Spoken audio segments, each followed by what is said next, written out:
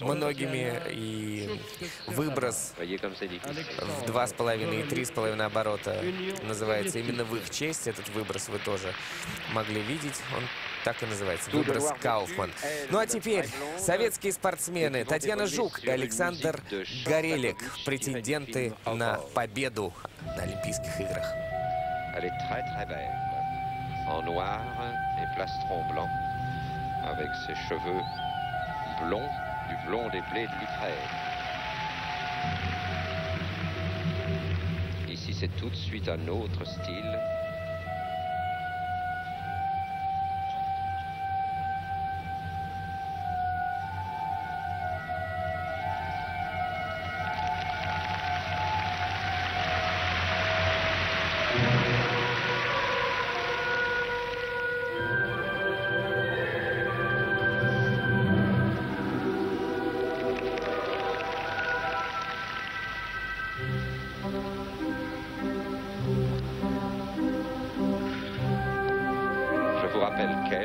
La femme de l'international Shesternev, capitaine de l'équipe de football du RSS.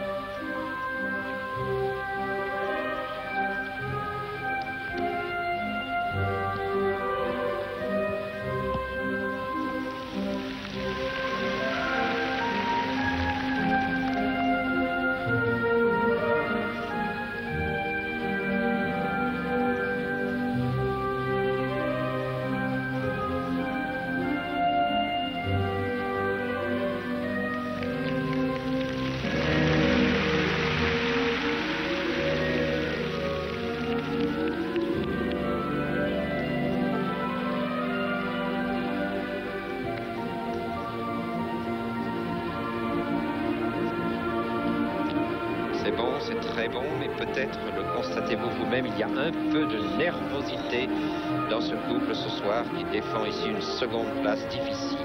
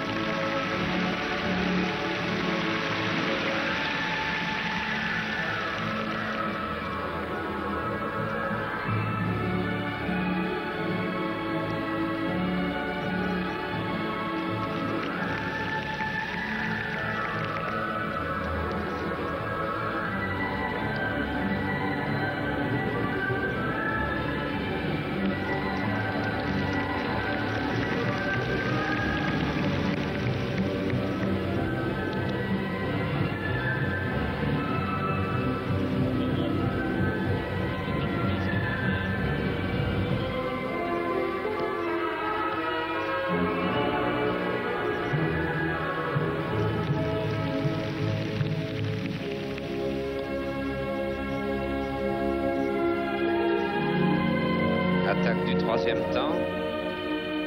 3-20.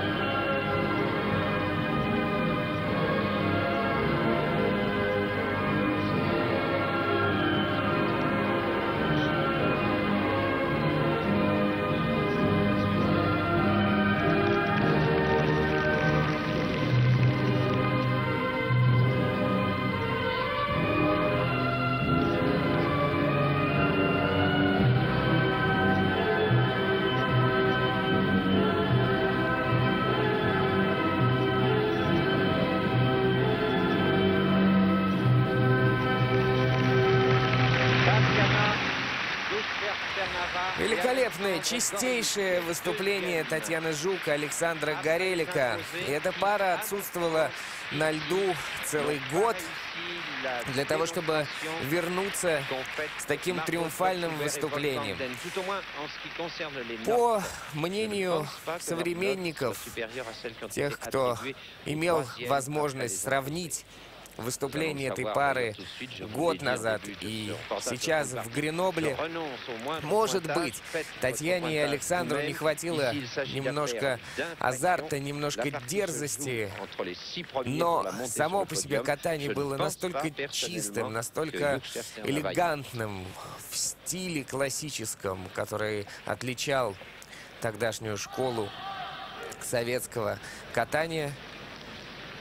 Станислав Жук встречает их возле бортика горячими объятиями. Действительно, это было великолепно. И вы видели и прыжки после дорожек шагов, и красивейшие поддержки, настолько все было едино и синхронно, что многие современные фигуристы могли бы позавидовать Татьяне и Александру. Низшая оценка 5-7, высшая 5-9. И это оценки за технику. И оценки очень высоки для того, чтобы обойти.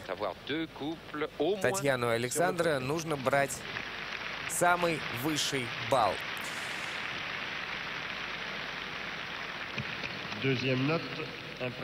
Оценки за артистизм. 5-8, 5-7, 5-9, практически в тех же пределах. И почти не отличаются от оценок за технику. И уже в следующей разминке выступают Людмила Белоусова, Олег Протопопов, немецкие фигуристы Штайнер и Вальтер, а также Москвина и Мишин.